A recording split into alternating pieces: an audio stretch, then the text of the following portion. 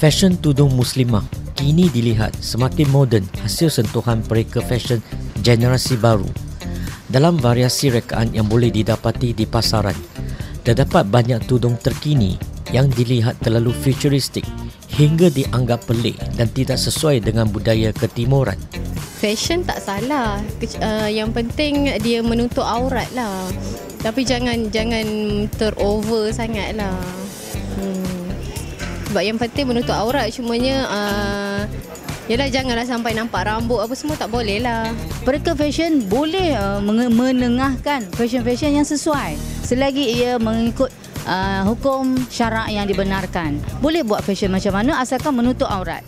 Uh, as- jangan kita uh, fikirkan uh, untung semata-mata tak pedulikan uh, uh, hukum yang sepatutnya buat sesuka hati fashion. Sampaikan uh, ada pihak-pihak tertentu lain akan meng- mengetawakan kita pula.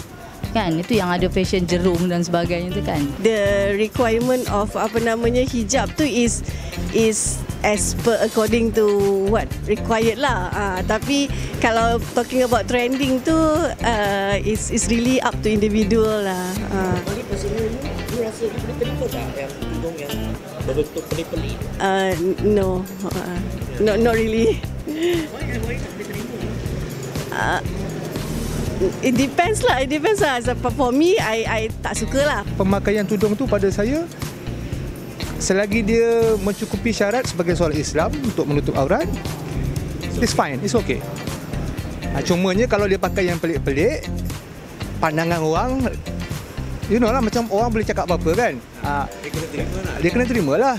Kalau dia tak nak mengelak daripada orang bercakap yang negatif yang bukan-bukan dan pakai yang macam biasa lah. Itu je.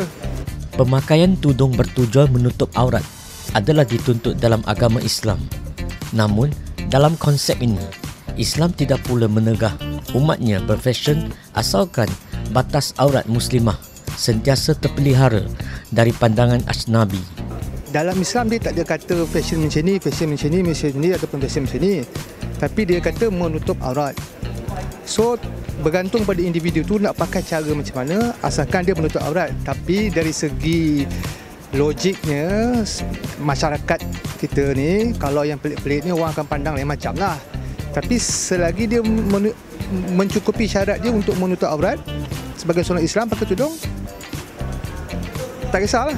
Dan macam sama juga macam pakai perfume Pakai perfume untuk orang perempuan Dia boleh pakai perfume Agama suruh pakai perfume Tapi tak boleh berlebihan ha, Jadi pakai tudung pun kena sederhana juga. Tak boleh berlebihan untuk menarik perhatian. Jadi kalau je nak macam pelik-pelik tu Dia macam seolah-olah nak tarik perhatian orang untuk melihat dia. Ha, ha, Dia pun akan jadi riak lah Sebab nak orang nak, nampak dia. Ha, Dia nampak pandai Nampak uh, cantik ha, Macam tu